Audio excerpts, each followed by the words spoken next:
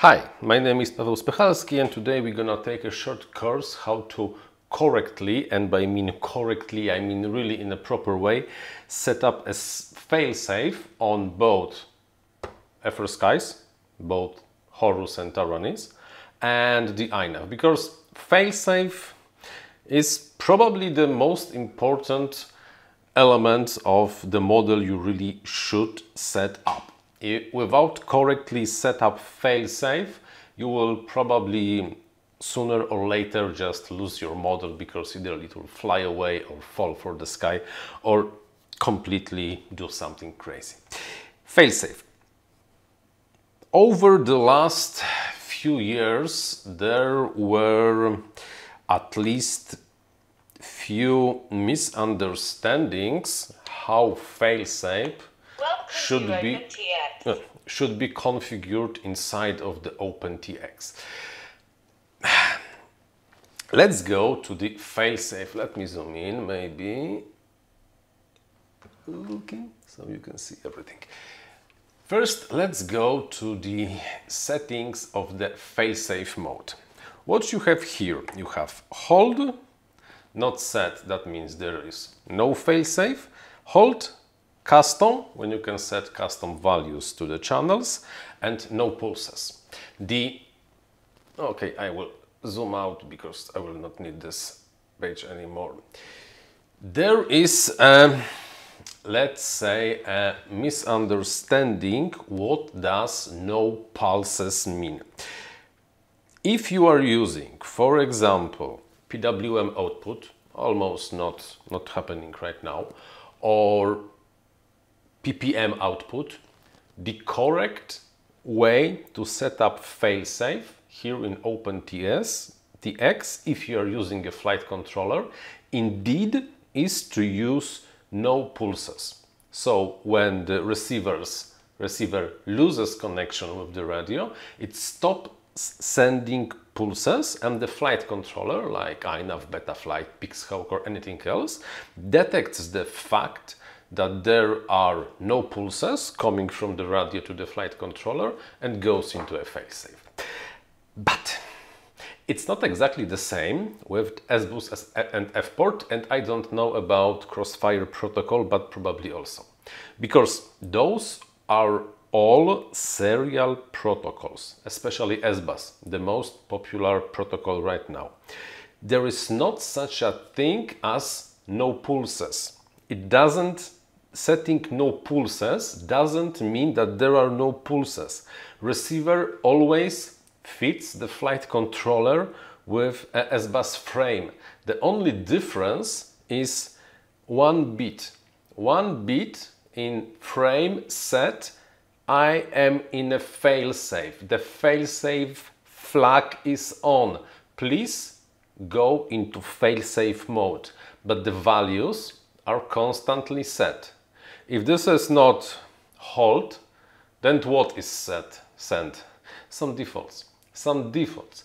And if you are not 100% sure that the flight controller you are using and the software does everything correctly with all the changing firmwares left and right on the FrSky, it's a nightmare. It's a nightmare. It's a nightmare for the flight controller to correctly interpret all the channel values and uh, the failsafe flag. This is why if you are using SBus on the FrSky OpenTX, do not set no pulses. Set it to hold. It might sound strange, but it's a correct way to do it. Because if you set it to hold, it will just keep sending the same values for all the channels like before, plus the failsafe flag. So the flight controller will either way know that there is a failsafe scenario and should react. Sounds strange? See it by yourself. Test it by yourself. See by yourself that this is really working if you don't believe me. Because why should you? I'm just a guy on this side of the computer screen telling you something and pretending I know everything because I don't know everything. I know some, but not everything. Test it. Always test the failsafe after every change you do. and try set hold with SBUS. No pulses with PPM. When it comes to settings of the failsafe inside of the INAV, the situation is much simpler than on the radio. All what you really, really have to do on the failsafe tab is set the failsafe procedure. Of course, if you are really prepared to like go into documentation and tutorials and wikis and stuff like that, there are not really many options to choose because you can choose drop, land, RTH or do nothing. What's the difference? What the drop does? Drop, in case of a failsafe, disarms your UAV in just drops or glides to the air. Absolutely, absolutely no additional things will happen.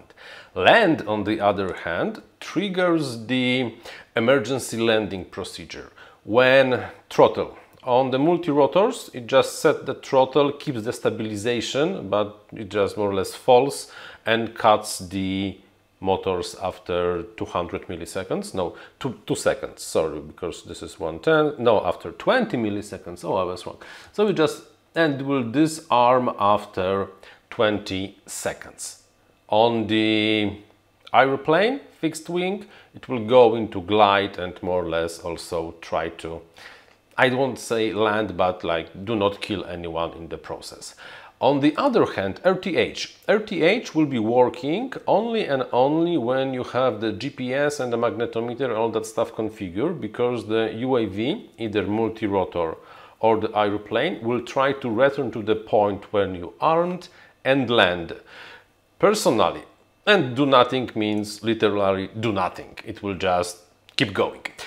I either use drop or RTH. Never tried to do nothing because I would like my failsafe to do something and never really used land because why should I? On something that it's not equipped with the GPS and it's not capable of return to home, set a drop. It's always safer to disarm than to hit the ground with propellers spinning, just drop and do not fly over people, but this is different story. On everything that I fly and has the GPS and is RTH capable, all my airplanes currently and all my quads above 5 inches, they are, I just set it to RTH. That's all really no other options is required. In older versions to INAV it was a good idea to set this to zero for the fixed wings so you do not disarm when you want just to glide but right now it's not so important. I still do it because because why not? And failsafe kill switch, never used it in my life. If I want to disarm, I just disarm with a switch. One more thing that you might consider checking and setting is here in the advanced tuning the one RTH altitude mode when you set the failsafe to do return to home? Is it at last fixed extra current? I usually use at least uh, and also land after RTH default default behavior is always to land after RTH, but if you don't want, you can set it to only to failsafe or never. In this case, after RTH, it will just hover or circle around your point, and when the battery will go down, it will just fall. Personally, I just leave it on always, because when I want to return to home, I usually want this thing to land. And what? And that's all, yeah, nothing else over here, I think. Oh, emergency landing speed, but leave it on defaults. If you really don't want to go into all the details, leave everything else on defaults and test it. Always, always test it. Did I said test it? Yes, test your failsafe. Let me repeat one more time. Do not trust a random guy on the internet that says he knows it all because nobody knows all. In, when you are dealing with failsafe, always test what you set on the bench. It's worth it. You will not lose a model probably thanks to this. You will not hurt someone. Do not trust me by word. Do not just blindly do what I told you. Do. okay, try doing what I told you because this is better. I hope so. But always test. This is why before switching to hold in case of S-Bus, check if this is really working for you. Failsafe is not a joke. The most important safety mechanism in flight controllers is failsafe. Always test. Always, always, always. Okay, I got slightly pessimistic, but right now at least you should understand that in case of S-Bus there is not such a state as no pulses and there are always pulses plus a flag saying that this is a failsafe state. And uh, in case of PPM and PWM, no pulses is the correct way, while for S-Bus, not exactly. Check what I told you, see by yourself, and until the next one, check the links in the description. Bye bye!